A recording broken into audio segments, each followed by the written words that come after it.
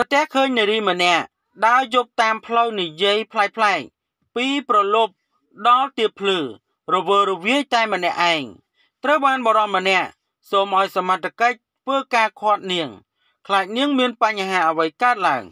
បងប្អូនជាទីគោរពរាប់អាននារីដ៏ស្រស់ស្អាតម្នាក់ត្រូវបានដើរហាក់បីដូចជារវើរវាយប្រៀបបានដូចជាមានអ្វីមួយយ៉ាងចូល ដែលធ្វើឲ្យមានការចាប់អារម្មណ៍យ៉ាងខ្លាំងនៅមួយរយៈចុងក្រោយនោះ ពាក់ព័ន្ធជាមួយនឹងនារីខាងលើនេះដែលត្រូវបានគេស្គាល់ថា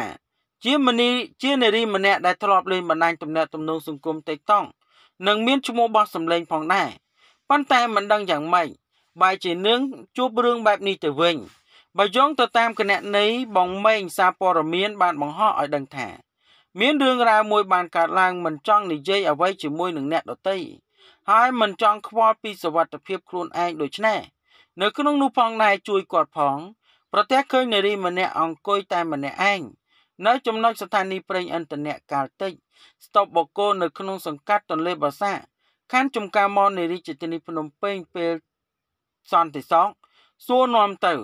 និយាយប្លែកប្លែកតាំងតែពីម៉ោង11យប់រហូតដល់ម៉ោង4ទៀបភ្លឺទូរស័ព្ទប្រាប់ទៅ ABC សូមឲ្យសមត្ថកិច្ចមូលដ្ឋានចូលទៅពិនិត្យមើលផង ពីព្រោះថាករណីនេះនាងអាចនឹងមានសតិមិនល្អនៅពេលបច្ចុប្បន្នឬមានបញ្ហាអ្វីមួយនៅក្នុងក្រុមគ្រួសារជាដើមពេលចុះទៅដល់សមត្ថកិច្ចក៏បានសួរនាំ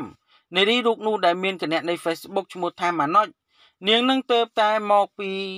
ផ្ទះមកលេងភ្នំពេញបានប្រហែលថ្ងៃហើយក៏មានទីលំនៅនៅក្រុងកែបហើយសមត្ថកិច្ចសួរថា ចង់ទៅផ្ទះវិញទេ រូបនាងឆ្លើយថា មិនអីទេចង់ដើរលេងម្នាក់ឯងសិន រួចក៏ដើរទៅឈរតែម្នាក់ឯងនៅចំណុចស្តុបបូកូដោយមិនមានសម្ភារៈឬក៏ឯកសារសម្គាល់ខ្លួនអ្វីឡើយដូច្នេះហើយបើសិនជាមានអ្នកណាស្គាល់ឬក៏អាចរកឃើញនៅម្ដុំស្តុបបូកូបាន នៅក្នុងនោះផងដែរខ្ញុំក៏ខ្ញុំបាទនឹងក៏សូមអភ័យទោសចំពោះការបង្ហោះនេះតែក៏សង្ឃឹមថា បងប្អូនជួយ share រកសាច់ញាតិរបស់គាត់ផង ហើយកូនគេកូនយើង បងស្រីគេបងស្រីយើង អ្នកស្រីគេអ្នកស្រីយើង នៅក្នុងនោះផងដែរជួយ share រកសាច់ញាតិគាត់ផងអរគុណច្រើន